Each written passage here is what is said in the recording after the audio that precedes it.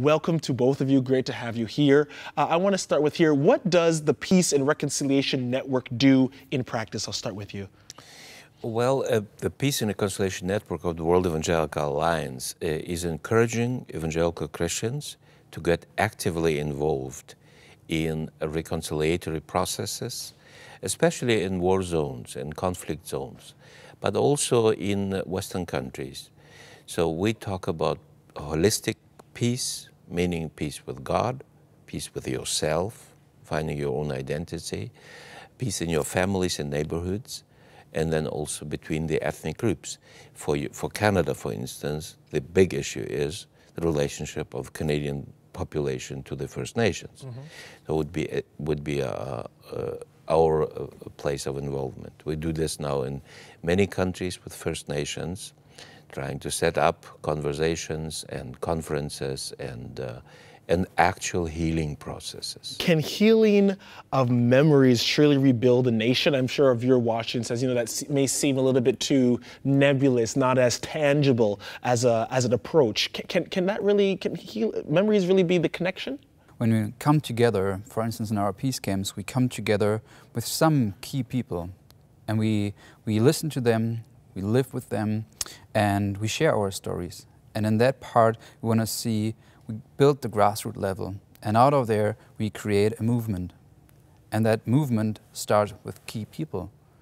And out of there comes a transformation of the nation. And bringing in the local church is for us the key. The church as the agent of transformation and seeing Christians taking responsibility in their local communities that we believe can transform a whole nation.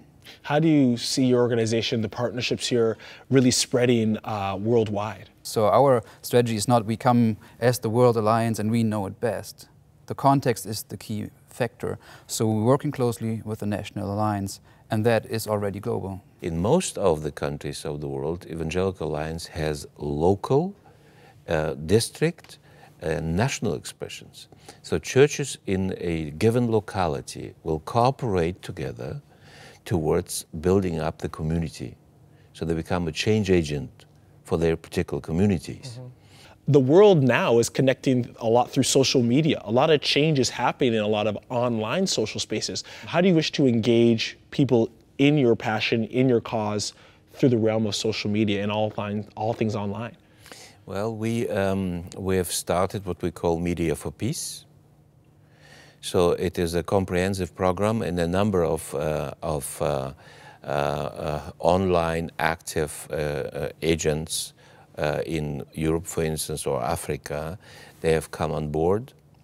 So um, we're trying to actively, well, get into this, mm -hmm. bringing young people into the picture, so the uh, the program we were talking about, the peace camps we run, is all for young people, and it is advertised and it's uh, it's uh, spread. The news is spread through uh, social social networks, of course. It's a new sphere now with um, all these YouTubers and whatsoever, and we would love to see the church being a part of that as well. We'd love to connect digital agents of transformation for peace. Thank you so much for joining us, Dr. Johannes uh, Reimer and Manuel Bohm with the Peace and Reconciliation Network. Thank you so much for your time again. Thank you. Thank you. Blessings.